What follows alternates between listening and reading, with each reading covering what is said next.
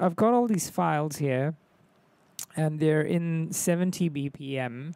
And when I put them onto Ableton, I frequently find that uh, Ableton doesn't warp the samples correctly. Um, it warps it to a different tempo. So if you check the preferences, I think the first thing you have to turn on is the auto warp function. Uh, that should be here. So you can turn the auto warp long samples on, and uh, my default mode is complex. Um, and turn the short samples to auto. And let's have a look. So I'm just going to drag all these samples in. So and then set the BPM to the BPM of whatever your sample is in. So I'm going to just drag all of these in. And what you'll find is a lot of them. So 93 BPM, 82.96, 80 BPM, 65.89, 80. None of them are in 70 BPM as I would have liked them to be.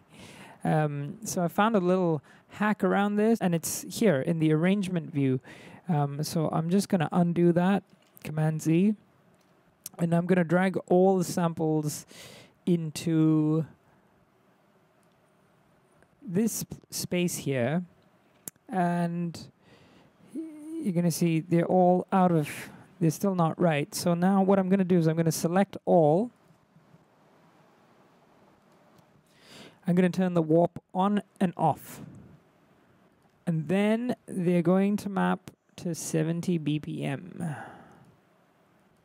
Nice and easy. then you can take all these samples and drag them back into the clip clip view.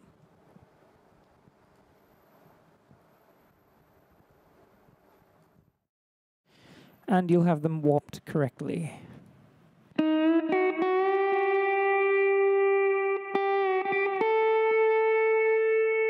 hope you found this helpful. Subscribe to the channel and have a great day.